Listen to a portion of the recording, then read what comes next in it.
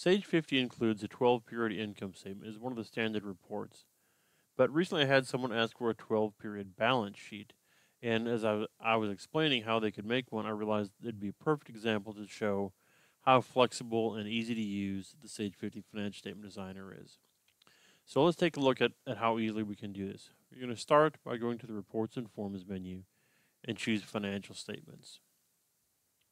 And we're going to use that standard income 12 period um, as part of our, our basis for building the new report because we can copy building blocks from various reports and use them in new reports.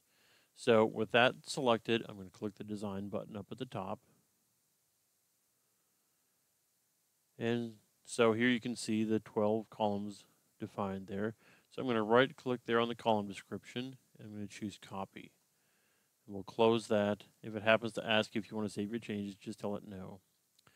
Then you want to pick the balance sheet format that you want to use as your starting point. I'm going to use the standard balance sheet. So now we'll click design there. And I'm going to right click on the column description again and I'm going to paste in the column description from the income statement. Obviously we'll have to make some changes coming from an income statement to a balance sheet. Let's take a quick look at how the original column description is set up.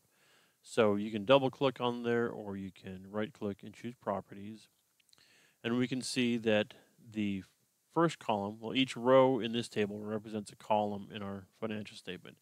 So the first column uh, brings in the account descriptions and the second column brings in balances. So let's cancel that and let's look at the properties for the new column description that we brought in. Here we can see that the first column is the same, it brings in the account descriptions. But now each of these is bringing in activity instead of balance. So we need to change each of these to balance. You can do it with a mouse, but the fastest way is just to click in each field and then type the letter B. You just want to make sure that you go all the way down.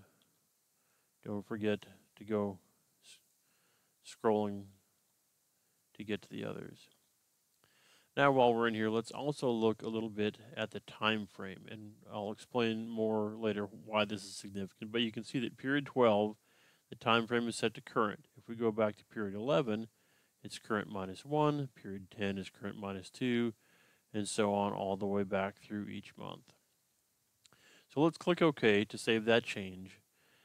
And now that we've got this column description set the way we want it to be, we can get rid of the original. So we'll just right click on it and choose delete. Now at this point you can click the save button and give this a new name such as 12 period balance sheet and you can put in a longer description if you want. We'll click save. Now this will show up in our list of custom reports. We can tell by the blue wrench that it's a custom report. So let's display this. We'll, and let's go to the options. And it's very important in order for this report to work, you have to set your range, assuming that you're on a calendar year, from December 1st to December 31st. If you're on a fiscal year, it would be whatever the last period is in your fiscal calendar.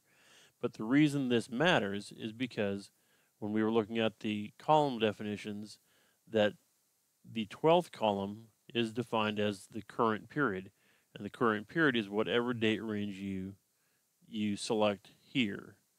Then every column prior to that, so periods 1 through period 11, are one month back, one period back from whatever column 12 is defined as. So that's why it's very important to always define this as December or the last period in your fiscal year. But so that's all there is to it. That shows you how how flexible and easy to use the financial statement designer is and how quickly you can set up a 12 period balance sheet.